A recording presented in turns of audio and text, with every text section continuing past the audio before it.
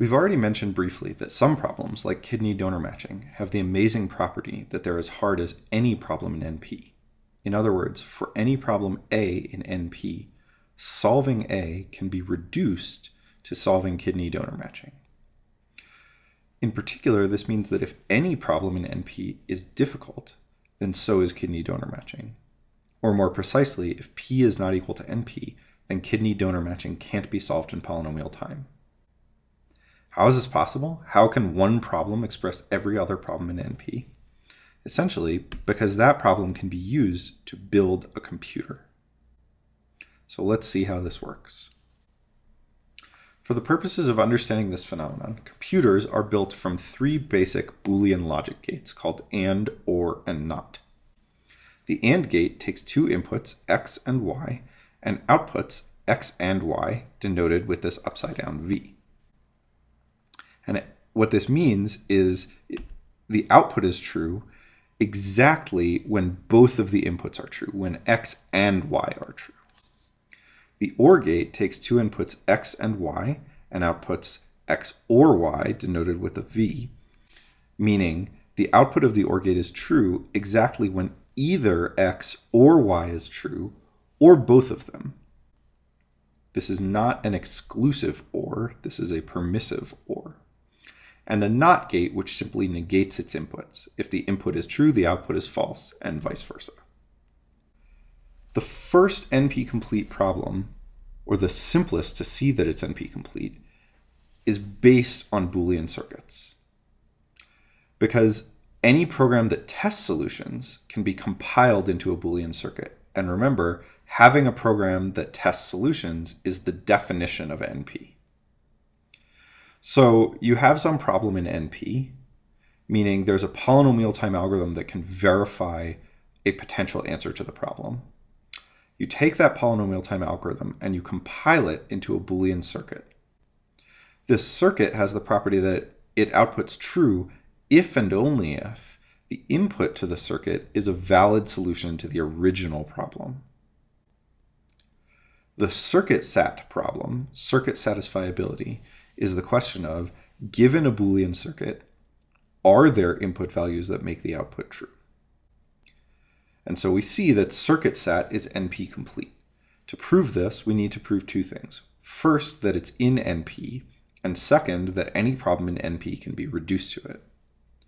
To see that it's in NP, notice that if I give you a potential input that makes the output true, it's very easy to check that the output is true. You simply simulate the circuit.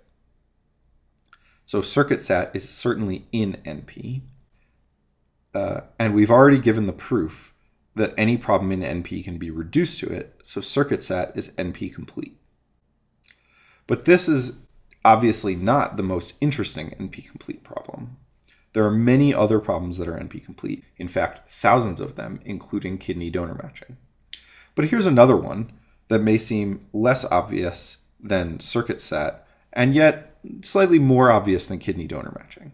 The question is I give you a shape built out of straight lines at right angles, and I ask, can it be tiled with these two tiles?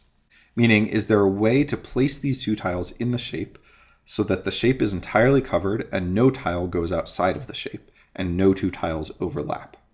The idea of showing that this is NP complete is that we can use these shapes to build a tiling computer.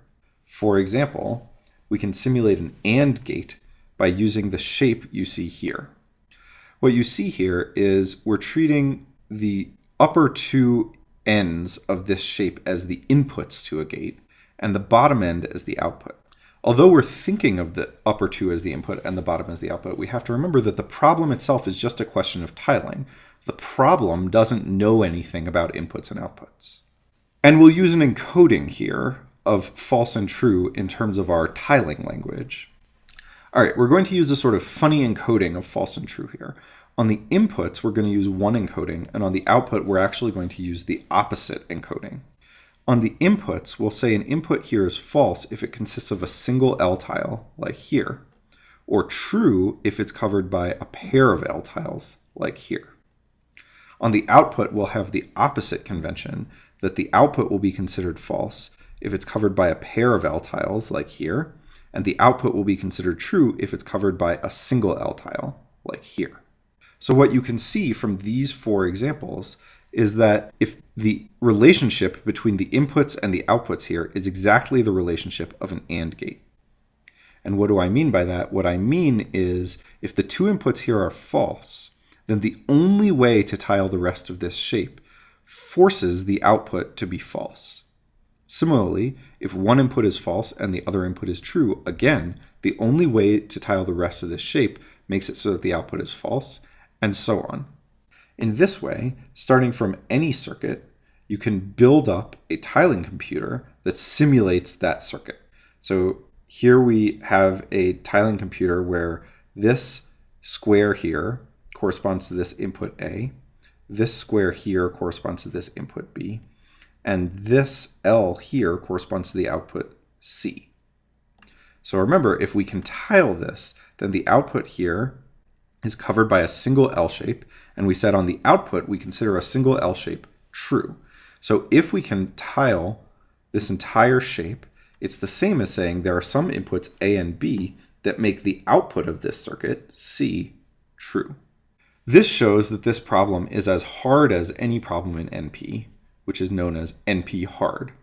To show that it's NP complete, remember we also have to show that the problem is in NP, which I leave as an exercise.